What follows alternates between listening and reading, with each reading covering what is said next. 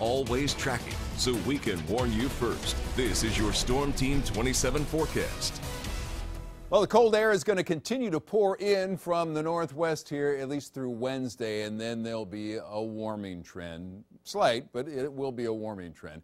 Right now, we're getting the lake effect. Uh, snow and clouds. We're getting the clouds, they're getting the snow as you look from uh, Cleveland through uh, Burton, Middlefield, near my old uh, stomping grounds of Newbury, Mentor, Thompson, Ashtabula. If you head up in that direction, they're expecting two to four inches of additional snow, and it's blowing snow too, so it can be a real headache. For us, we have these temperatures in our neighborhood 11 degrees in Hubbard, Youngstown, Mercer. See 13 in Ellwood City, in Wellsville and Salem, and 10 degrees in Berlin Center, just 6 in Mesopotamia, where they picked up a little bit of that snow that they're getting off of Lake Erie. Currently at 10 degrees as we explore the afternoon with Future Tracker. Watch as the snow stays in the snow belt here, except for around First News at 5. You see a little bit there around Grove City and New Castle in uh, Mercer and Lawrence counties, but it's not much. And then it stays here to the north through First News at 11, and Paul Wetzel will be telling you about more snow overnight,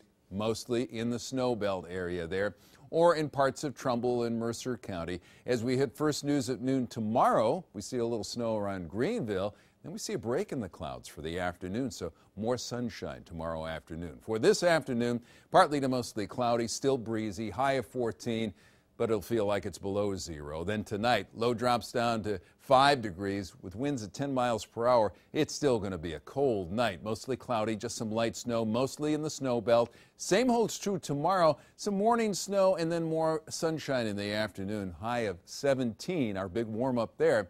By the time we hit Wednesday, we're talking about 23 and a chance of snow. Thursday, no snow, but we finally get close to 30 and we stay near and around 30 degrees into Saturday and Sunday of the weekend and dry. Back to a chance of snow next Monday.